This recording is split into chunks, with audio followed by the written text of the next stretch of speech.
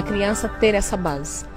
Um, durante dois anos funcionou muito bem e nós íamos gerindo com as poucas facilidades que nós temos financeiras, porque temos que ter atenção. Estamos a lutar os dois, né? Eu como mulher, o, o pai dos meus filhos como homem. Uh, então fomos tentando sempre suprir os dois. Ele a pagar a escola e a saúde das crianças e eu também a suprir com todo o resto. Casa, lazer, alimentação, tudo. Vestuário, tudo. As crianças tiveram toda a pandemia comigo. Então, tudo. E quem é pai e mãe sabe o que é ter uma criança 30 dias em casa, aliás, 30 dias não, meses a comer em casa. Mas fiz isso individualmente, que fique claro, tá? Não tive ajuda de ninguém. Isso fiz individualmente. Enquanto estiveram comigo, eles não tiveram ajuda financeira de ninguém. Mas isso nunca foi problema. Uh, porque acima de tudo, eu gosto de ser independente. Desculpa, gosto de ser independente. Gosto de lutar, gosto de ir atrás das minhas coisas. Até porque os meus filhos são o meu maior incentivo. Uh, mas infelizmente, na época de pandemia, os meus filhos ficaram sem afeto do pai. Essa é a verdade. Ficaram sim, estou a dizer a verdade. Ficaram quase sete meses, oito, sem falar com o pai. Não sei porquê. Sem falar, sem verem, sem nada. Não sei. Nem ao telefone, nem.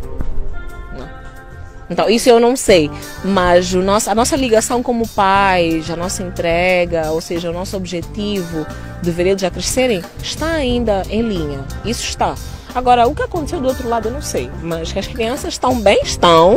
Eu tento suprir, mas essa é a verdade. O pai é um homem presente em termos financeiros e etc. Mas infelizmente, pronto, essas coisas acontecem. A quem deves um pedido de desculpas? E essa pergunta é se, se achas que, que tens, uh, tem alguém que tenhas que pedir desculpas e também tem alguém que tenha que te pedir desculpas, quem seria e porquê? Bem, eu devo um pedido de desculpas aos meus filhos porque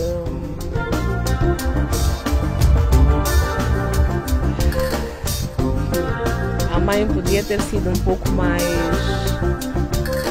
Podia ter pensado um pouco mais. Podia ter sido um pouco menos egoísta. Estou mesmo a chorar, gente, sério. É... Mas é só eles que eu devo pedir desculpa. Mais ninguém, mais ninguém. Só os meus filhos. Porque eu podia ter, ter, ter pensado um pouco mais. Ter sido um pouco mais madura, se calhar uh, ter tomado uma decisão de forma mais inteligente. Mas eu acho que eles vão perceber que a mãe tinha só 27 anos. Percebes? A mãe tinha só 27 anos. E a mãe não tinha experiência na vida. Não tenho ainda. Mas o pedido de desculpa vai, vai, vai, vai para os meus filhos, não para mais ninguém. São os únicos que merecem ter isso de mim Uh, acredito que já está gravado e os meus filhos vão ver um dia. E eu lhes amo muito. Sempre disse a verdade aos meus filhos. Nunca ninguém vai surpreender os meus filhos com uma. Sei lá, com uma. Sei lá, uma fofoca ou qualquer coisa. Meus filhos sabem a mãe que tem. Eles conhecem tudo. Obrigada. Mas devo pedir desculpa aos meus filhos. Uh, Ninguém monta ou forma um lar eh, com a intenção de terminar e deixar a criança triste, deixar a criança infeliz. Ninguém faz isso. Ninguém faz isso. E se eu tinha o objetivo de formar o meu e deixar os meus filhos felizes, era, era porque eu achava que era possível. E infelizmente não foi possível prematuramente. Então eu sempre sinto um peso de que não, eu tenho que pedir desculpas aos meus filhos. Mas mais ninguém. Termina aí. E as lágrimas já estão secando, gente. Termina aí. ninguém mais mesmo. Agora, quem me deve pedir desculpas? Vamos mudar de assunto. quem me deve pedir desculpas?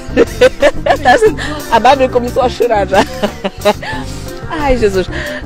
Quem me deve pedir desculpas? Eu não sei se essa pessoa me deve. Porque para ela me dever, ela tem que entender que ela cometeu um erro. E se diante de um juiz essa pessoa não conseguiu perceber que cometeu um erro, não é diante de uma TV que essa pessoa vai conseguir perceber. Então, essa pessoa sabe quem é e disse um desculpa assim, mas tem que pedir perdão. E também aos mesmos, aos meus filhos. Essa mesma pessoa, não vou mencionar, nem vou dizer o que é, essa pessoa tem que pedir perdão pelo que fez. Principalmente aos meus filhos. Porque eles têm que ser felizes, merecem. E é tudo. Muito forte, hein? É mesmo muito forte. Vamos. Como tu sabes? A sabe. É porque ela sabe, não está tipo, ai meu Deus, Neymar, estás a falar disso? Estou mesmo. Mas eu sei tudo, eu sei tudo. Por isso estou aqui, ó, quieta. Vamos à próxima, mãe. Guardas mágoa de alguém? Graças a Deus já não. Eu antes guardava, até bem pouco tempo. Guardava de muita gente, claro, né? De várias pessoas que eu mencionei aqui na entrevista. Mas havia uma pessoa que eu tinha assim. Não era mágoa, era ódio. É, que foi o ex-parceiro da minha mãe. A pessoa que esteve com a minha mãe depois do meu padrasto. E essa pessoa agrediu a, minha mãe, agredia a minha mãe, quase matou a minha mãe. Acho que agrediu mais de seis vezes. Quase matou ela, ao ponto de ter-lhe atirado do carro em andamento. E eu fui atrás do caso, fui ao tribunal, lutei, lutei muito, lutei, porque a minha mãe, como vocês sabem, as mulheres, infelizmente, em Moçambique, passam por agressão física nos lares e não denunciam. Têm medo de denunciar, têm medo de assumir, têm medo de mostrar para o mundo o que estão a sentir o que estão a passar.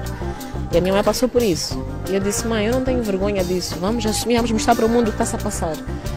E eu fui atrás, meti o caso no tribunal, esse homem foi preso, graças a isso. Graças a mim, essa relação terminou. E eu tinha muito ódio desse homem. Mas já agora, se eu está a assistir, estou na paz, já passou, não tenho mais ódio.